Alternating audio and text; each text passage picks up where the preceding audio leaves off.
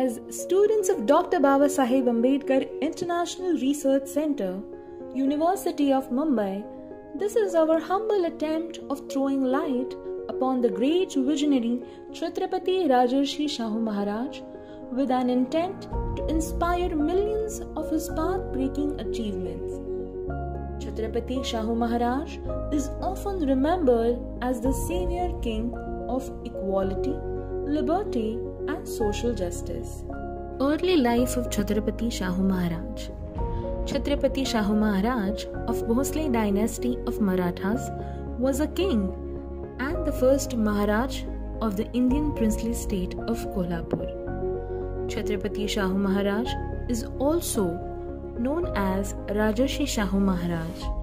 He was a true democrat and social reformer.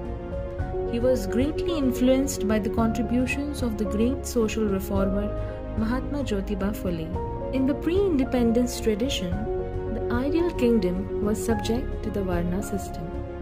In other words, the Shudras and the Atishudras had to serve the Dvits and women were subservient to men.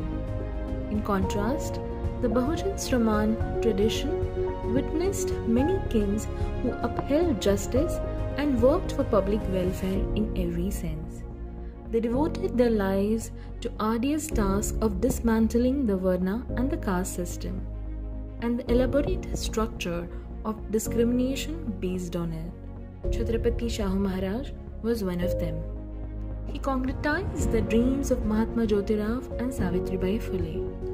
Maharaj was born as Yashwant Rao in the Ghadge Maratha family of Kagal village of Kolhapur district as Yashwant Rao Ghadge to Jai Singh Rao and Radhabai on 26 June 1874. Young Yashwant Rao lost his mother when he was only three. His education was supervised by his father till he was 10 years old.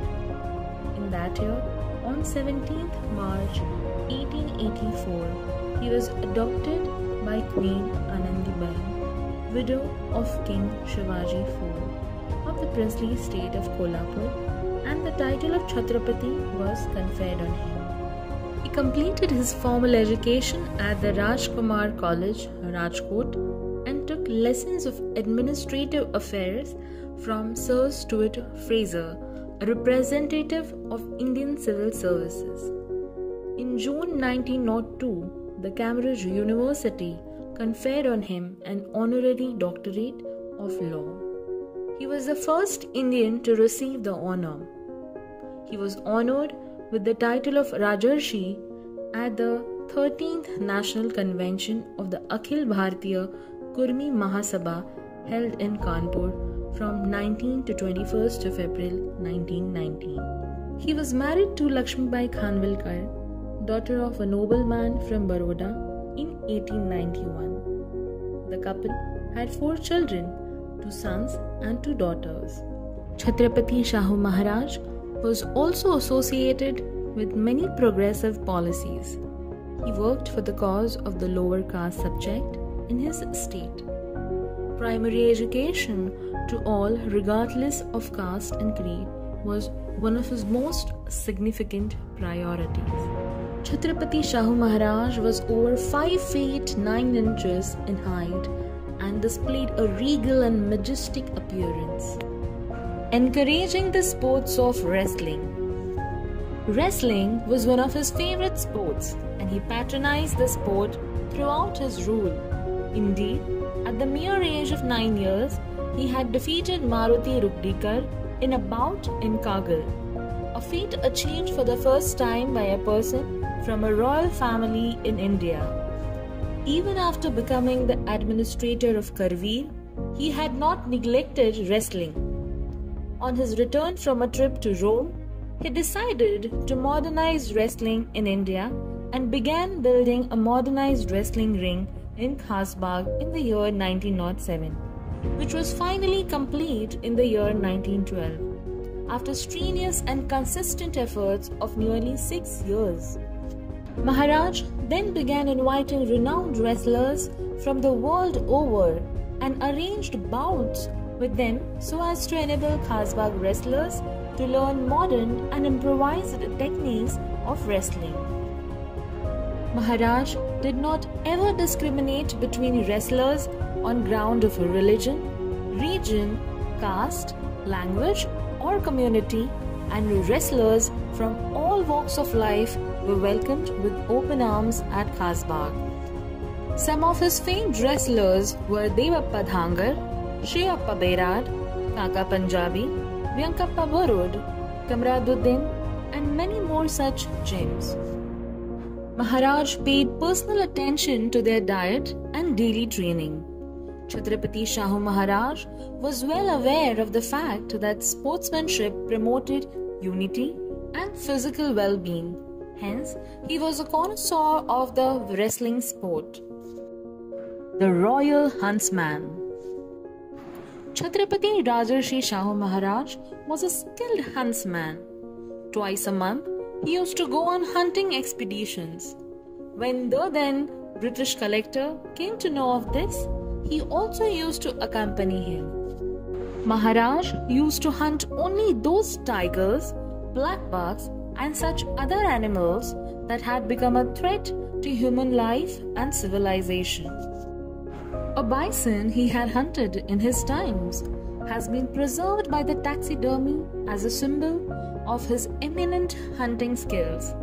In those days, in northeast and south India, Indian cheetahs were reared. In fact, only for hunting black bucks, these wildcats were humanized for the purpose of rearing such cheetahs. Maharaj too established an institution in Kolhapur, and the place had around 35 cheetahs in those days. Some of his beloved cheetahs were named Viramati, Lakshmi, Ganpya, Star, Bhavani Shankar, among others. The connoisseur of valor. How much he valued bravery and valor is evident from the following instance. During the First World War, Indian soldiers of Maratha Light Infantry had laid siege to the city of Kut al Amara in Iraq on the banks of the river Tigris. However, their rations were exhausted, and due to paucity of supply, they were forced to consume raw meat of their dead horses. When Chhatrapati Shahu Maharaj came to know of their sad plight, he sent them a letter instructing them to consume the meat from the bags and also granted them the permission to deal with any situation in any manner they deemed fit. He also assured them that he would stand by them come what may. Inspired by the gallant words of the king, the soldiers fought with a renewed vigor and gave a taste of their bravery to the hapless enemy. Unfortunately, they ran out of all provisions shortly, lost the battle, and were forced to surrender themselves. When Maharaj was informed of their defeat, he lamented their loss, but also praised them for their valor. Coronation and his efficient administration. Maharaj was anointed the king of Kolhapur on 2nd July 1894. During his accession, Yashwantrao was renamed as Chhatrapati Shahuji Maharaj. His statesmanship skills were put to test within three years of coronation. In the year 1897, the deadly bubonic plague was rapidly spreading throughout the cities of Mumbai and Pune, killing hundreds. Moreover, these cities were also reeling under severe drought conditions. Although himself a deeply religious devotee, Rajarshi Shahu Maharaj understood that in the face of plague and drought, it would be beneficial to subject to ban all religious gatherings. Accordingly, disregarding all customs and traditions, Maharaj issued a firman banning the Sri Jyotiba Yatra, an important religious occasion of the patron deity of Kolhapur, Dev Jyotiba. On 26 July 1902, Shahu Chhatrapati issued a historic document in the Gazette of Karveer in Kolhapur state. It was a notification in English that reserved 50% of government posts for backward class candidates. The 1902 notification says His Highness is pleased to direct that from the date of this order, 50% of the vacancies that may occur shall be fixed by the recruits from among the backward classes.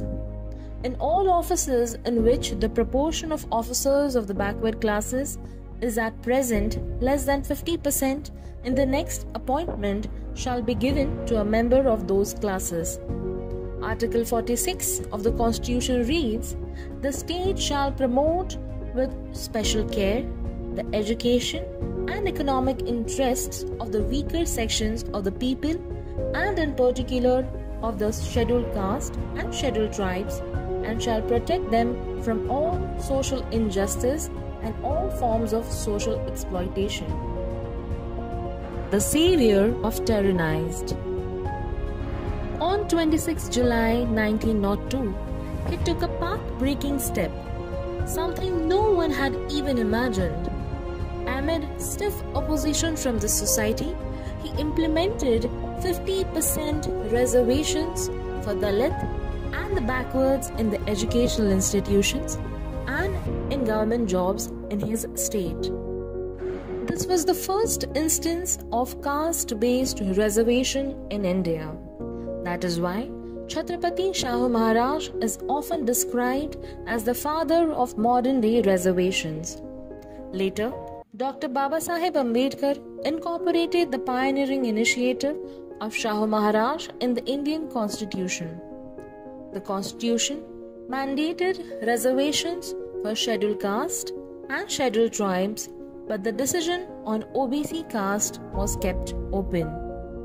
The OBCs got reservation on 16th November 1992, about 45 years after independence and 90 years after Chhatrapati Shahu Maharaj made the provision for his subjects. The Thirst Quencher the second milestone came on 26 January 1950, when India chose to be governed by the Constitution and when a great reformer, emancipator, and legal genius like Dr. Baba Sahib Ambedkar gave constitutional sanctity to the spirit of the 1902 notification. The extent of vision of Chhatrapati Shahu Maharaj as a father figure is evident from this instance of his life covering about 11,000 hectares of wooded hills and standing tall at 140 feet, the Radhanagari Dam, constructed across the Bhogwati River, is an engineering marvel per se. The dam was envisioned by Chhatrapati Shahu Maharaj as a permanent solution to the perennial problem of drinking water scarcity within the municipal limits of Kolhapur.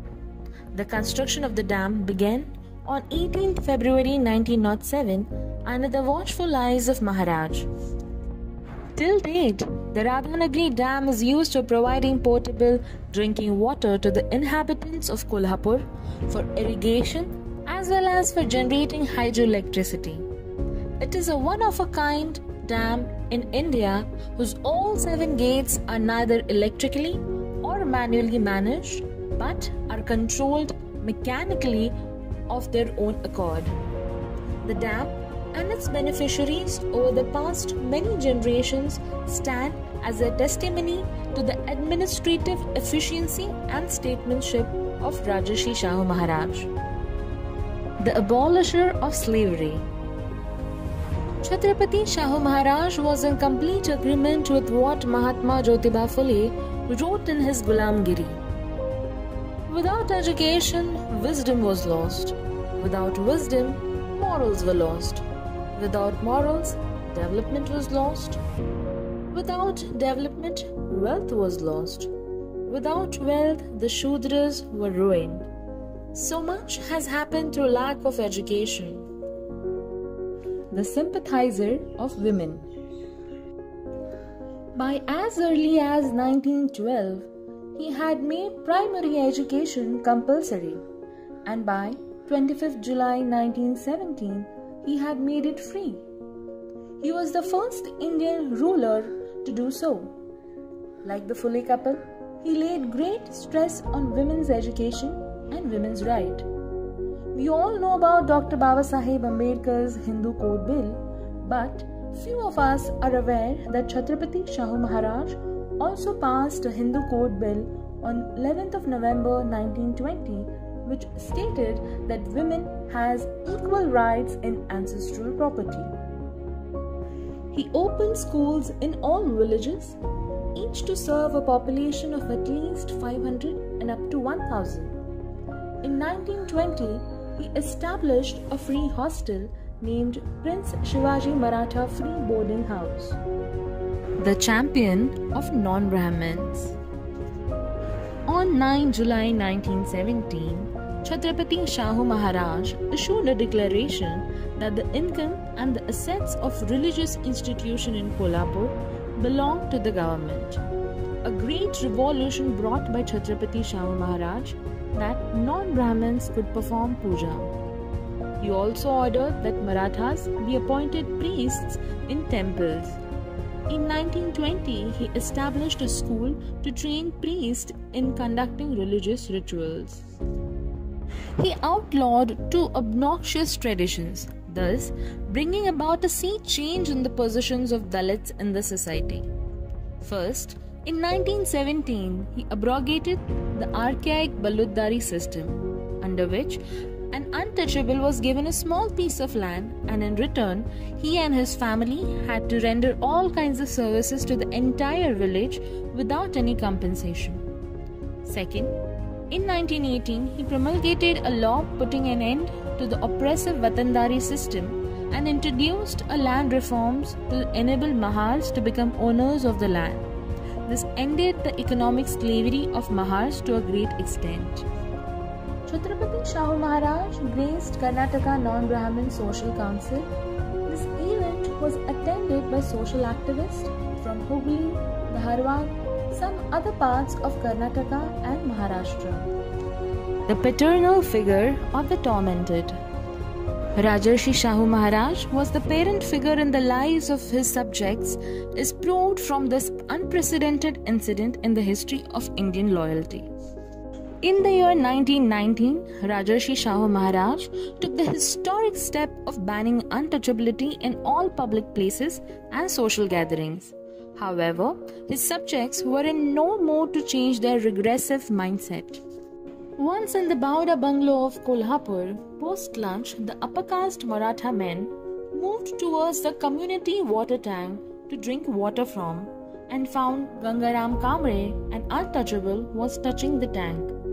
Enraged Santram, a Maratha, and several other Maratha men blamed him for polluting their water tank and mercilessly flogged Gangaram till his back started bleeding profusely.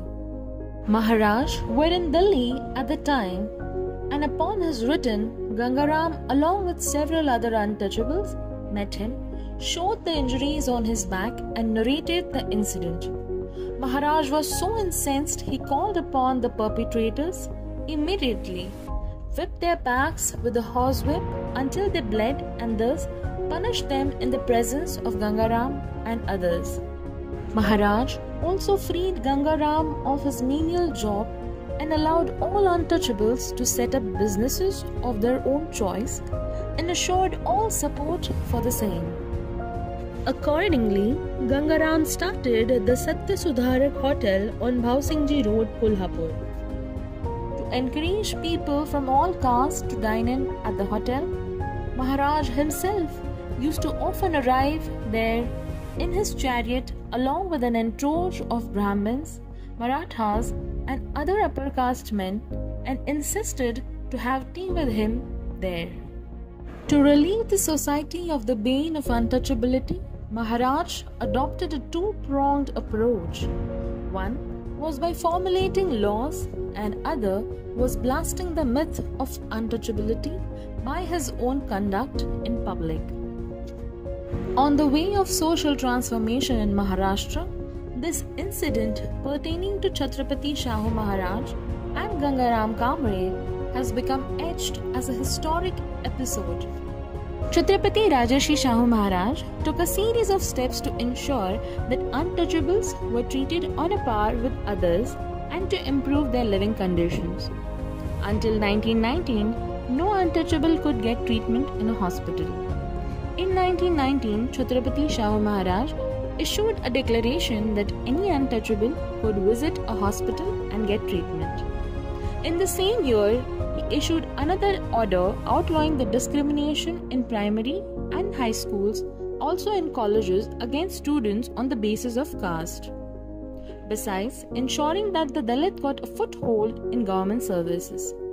He also issued an order that said Dalit government employees should be treated with dignity and respect and that government offices should be free of the practice of untouchability.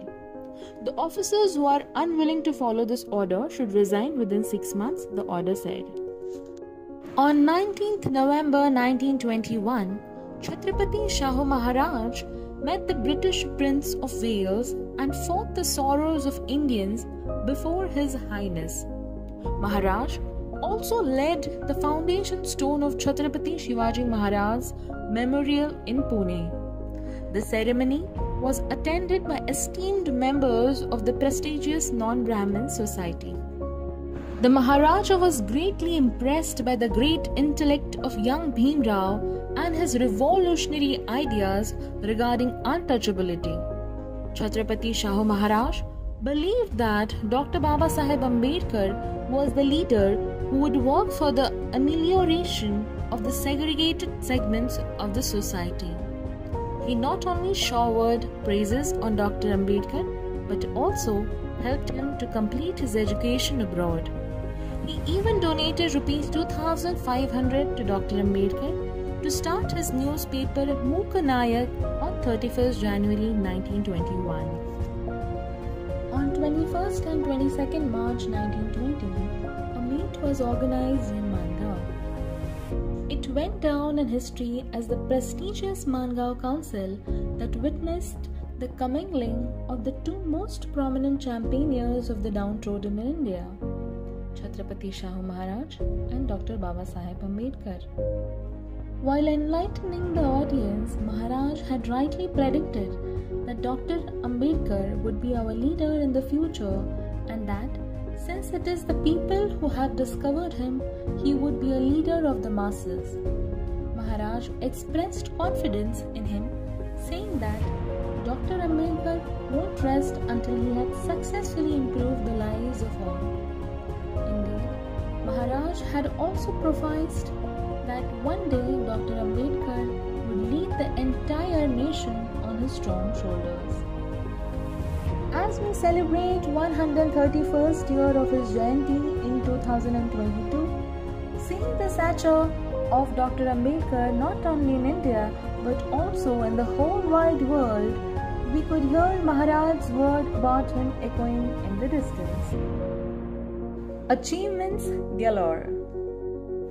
Chhatrapati Rajarshi Shahu Maharaj became the ruler of Kolhapur when he was just 20 and ruled the state for 28 years. Establishment and foundations made by Chhatrapati Rajarshi Shahu Maharaj are as follows. Established his first foundation on 2nd July 1894. Promulgated new wing of Fergusson College on 28 March 1895 for the purpose of providing free and compulsory education to the poor and.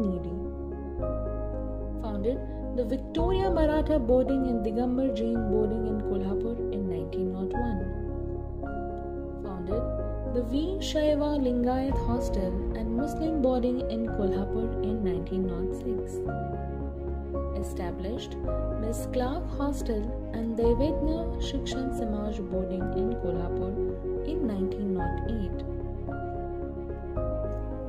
Established Srimati Saraswati Bai GSBB Hostel. Indian Christians Hostel on 11 September 1917. Maharaj successfully implemented the free and compulsory education scheme for the downtrodden. On 27th December 1970, Maharaj presided over the Akhil Bharatiya Marathi Parishad for the betterment of Marathi language.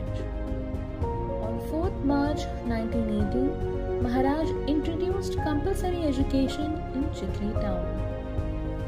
Established Sri Shivaji Maharaj Society in Pune, Arya Samaj, Kulguru and Vaishya Samaj boarding in 1918. Presided over the Arya Dharma Parishad on 14th December 1918.